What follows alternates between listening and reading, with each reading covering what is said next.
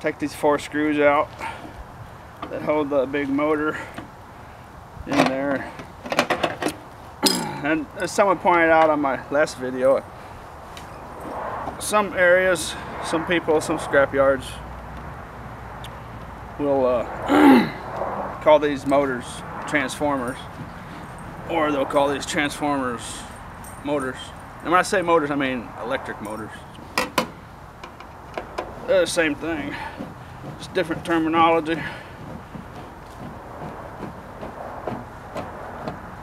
You can get that last screw out, you can feel it, the whole thing just drop out of there. There it goes. Let's go down here to these.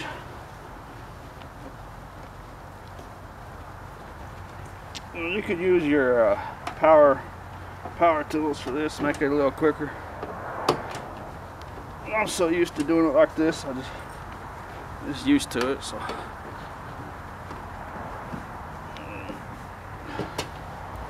And over here, we're gonna have a safety screw, one of those star-shaped driver deals. And I, I don't even take the time to carry one of those and mess with it. I just go like this right here. Done, you know. saves a lot of time. One less tool I gotta carry around. And uh, this motor's actually got a little metal case on it. You don't see that very often. Ouch, well there it goes. I that was on there. You don't see that very often. There it is, that big old dog right there. That thing weighs probably nine pounds, close to 10 pounds. And uh, let's see if that's copper wire in there.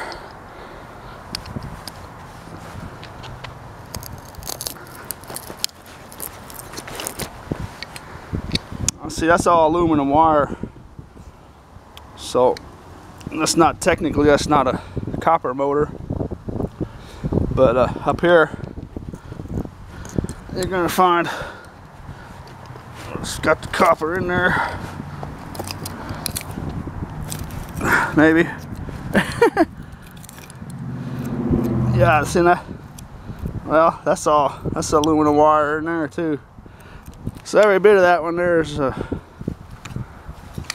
aluminum wire, which is going to decrease the value a little. Not a whole lot because some scrap yards will just give you aluminum breakage for that, and it's about the same price as a motor. So it's still a valuable little guy, you know. He he's so small and he weighs so much, you know. Now these guys here, some scrap yards will make you take them out of there. it's just gonna be, you know, two screws, sometimes three or four screws. They come out of there pretty quick.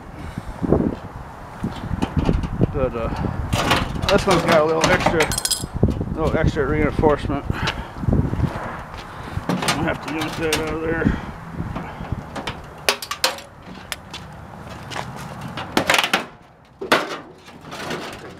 Off there.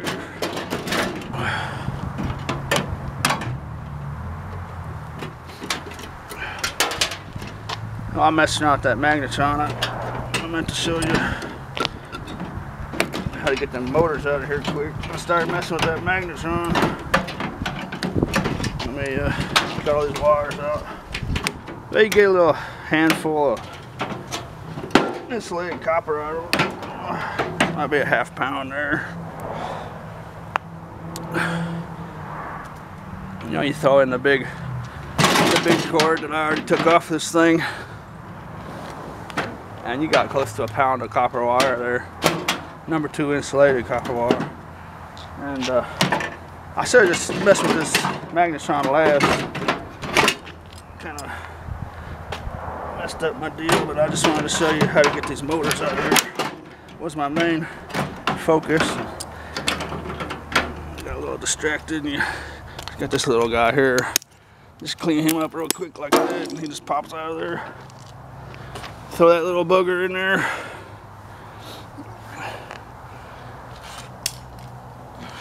With your motors. Have uh, about two or three screws out here holding this at second biggest motor in there. Most microwaves will have three or four motors. And all together they're gonna weigh about 10 pounds, give or take a little. Just yank that dog out of there like that.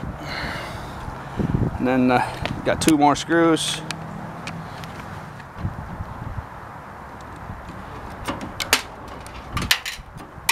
Just take that like that. I just nice smooth spot to put your fingers right there on that copper wire and just that fan blade's gonna hold it in a little bit. I'll just go like that. Just yank that sucker out of there. There you go. It's a nice little motor. And then uh, this will be your third motor in here. It's the smallest one. I just take the screwdriver, get it in there in that little lip, and just thing of there. And the whole board came with it that time. But usually I can just pop that motor right off real quick. Uh, get to it eventually. Maybe. I've done this probably a thousand times. Uh, first time I did it on camera, so little choppy, I suppose. There's a third little dude. And then uh, now you have some more skibble scabble wires down in there that aren't gonna weigh nothing. And there's a little uh,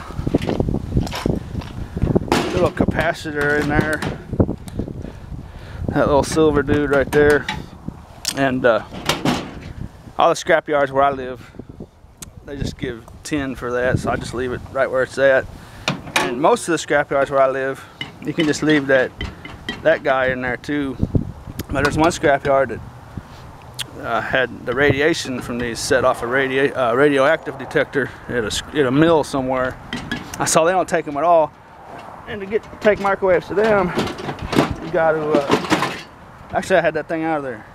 I, I should just yanked that thing out of there a long time ago. But, uh, to take microwaves to them, you got to uh, take this dude out of there. So I, when I'm down in that area and I got a microwave, I'll take this thing out real quick. and, uh, danger, high voltage. But that's the technology behind a microwave right there, them little dudes. And some people say you can bust them open, but I and get some copper stuff out of there, but it looks like a lot of work to me for not very much money, so I just take them to a scrapyard that accepts these and just throw them right in my tin pile with the rest of my tins. So what I'll do with this microwave, since I'm in between scrapyards, I'll, I'll just put it with the rest of this tin, all the tin that came out of there, store it right in there, which isn't very much tin, but just throw it in there. So that's what microwaves are good for. You know, you got a bunch of that little tin and, you know, uh, metal and stuff. You just pack up that microwave full of stuff, you know. It saves a lot of space. It's a handy little trick. There's another little piece right here. But, uh, that's it. You know, you can just take this back here like this and you know you could even like save one of the screws and screw it back down into that hole. If you really wanted to but I just go like this call it done. All the goodies we got out of there. Got big old dog medium dog little dog tiny dog handful of insulated wire. Of course I had previously taken off the the main cord so you know there'd be almost you know probably like three quarters of a pound or so of number two insulated wire if I had that big cord in there but uh, you know you can get it down there in just a few minutes that took me longer because I'm messing around with this camera and trying to explain stuff and fumbling with my fingers because I've never done it on film before but yeah I could I could do that whole thing and get all that out in about three or four minutes, under five minutes for sure. But uh, every now and then you'll run into a microwave that is uh, manufactured a little different. Like that one there had that had that uh, tin covering around that bigger bigger electric motor, and that, that's not usually there. So that made me fumble a little bit. But since I'm on a uh, motorcycle, uh, space is of the essence. I'll just for now I'll just throw all that stuff in there. Just carry it just like that. Call it done.